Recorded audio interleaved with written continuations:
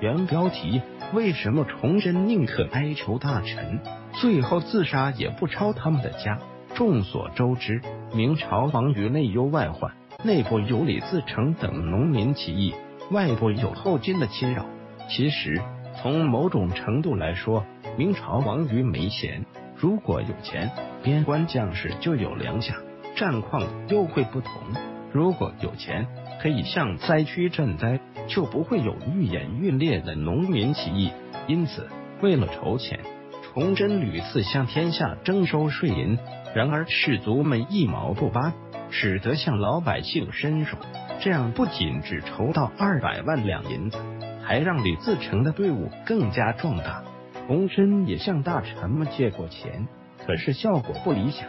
最后崇祯自掉煤山。让人奇怪的是，为什么崇祯自尽也没有抄大臣们的家？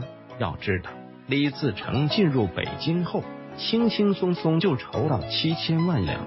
其实，崇祯不是不想抄大臣的家，而是有人恐吓崇祯，反而把出主意在薛国观处死了。事情是这样的：明末财政不够支出，首府薛国观献计向百官借钱，说在外的群僚百官的借款可由我来负责，在内的皇亲国戚的借款非得皇帝出马不可。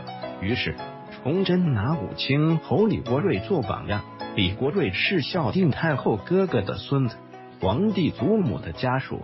他表示自己没有什么钱财，还把家具器物拿到大街上叫卖，这让崇祯十分生气，于是剥夺了李国瑞的封爵。没想到李国瑞却因此受惊吓死了，这让皇亲国戚人人自危。恰逢五皇子病危，这些皇亲国戚利用这次机会收买宦官宫女。在宫中传言孝定太后已经化身为九莲菩萨，则被崇祯轻视外戚，因此要降罪于皇帝的儿子身上。更巧的是，五皇子不久病逝了，这让崇祯非常害怕，急忙封赏李国瑞七岁的儿子存善为侯，还将收缴的金银全部归还。而对于出主意的薛国官，崇祯则怀恨在心。